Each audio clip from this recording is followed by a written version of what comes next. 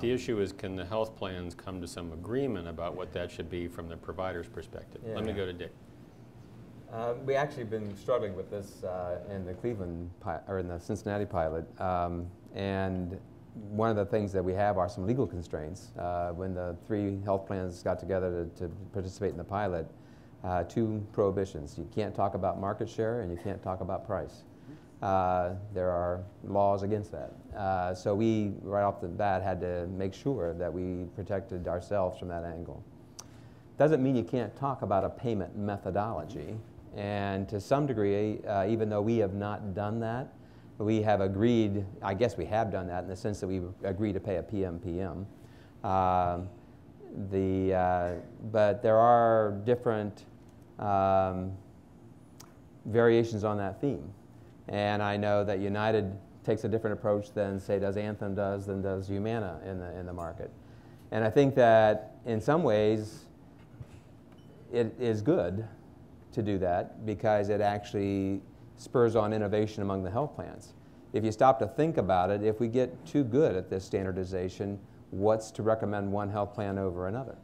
Uh, essentially, you end up with it's uh, pretty much doesn't make any difference who you go to.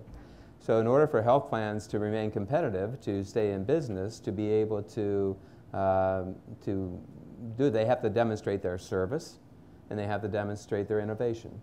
And those are the two main areas that health plans will have to concentrate more and more on. How can we best innovate? How can we best bring a best idea to market? Knowing full well that that best, that best idea will probably last six months tops before it gets copied. Uh, and so you, you have to stay one, six months ahead of coming up with the best idea about how to innovate in your health plan. And I think that's a great pressure to be under from a health plan perspective. I think you get a better, uh, a better system out of that because people are constantly doing that. Downside is, from the physician's perspective, is that how do you take those different variations on a theme and go to a practice and say, okay, here's how you're going to work with United, here's how you're going to work with Anthem, here's how you're going to work with the Medical So Mutual. let me go to Jim. So Jim, from a provider perspective, how much do you want health plans to be competing on the way they pay providers and how much do you want them to reach some agreement on paying in the same way? I think, I think collaboration would, would be more helpful than competition because when you think about it at the level of the uh, practice patient interaction, it's very, very difficult to tease out what to do different for who based on who their payer is.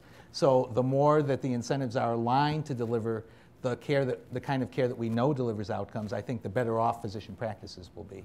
Tim, from an employer's perspective, do you want to see health plans competing on the ma- payment methodology they use or do you want to see them competing on other things? Uh, No, I want them to have the same payment methodology. What they do internally is what they do internally. And from my perspective, we're not going to want to see them, we're going to demand to see it out of them going forward. I mean, the, the fact of the matter is, when we purchase any other commodity, be it IT equipment or whatnot, we go for the highest value with a warranty. We have not done that with healthcare. It's a significant course. We will do that with healthcare. And if push comes to shove, you know, we'll do a different model altogether. We'll directly contract. We'll do, you know, as I said, medical tourism. So you know, as much as we would love to have one entity to work with and to truly call a partner, if we need to treat it as a vendor relationship, we will move down that path. So what that illustrates to me is the value of having a community process where everybody can come together and talk about that and say which pieces are most important to have the same and which are not so that we can reach some resolution on that and be able to move the community forward. And with that, Diana's giving me the hook, so I'm going to sit down and uh, shut up. Thank you, thank you. And so can the panel sit down Thank you, panelists, and Harold.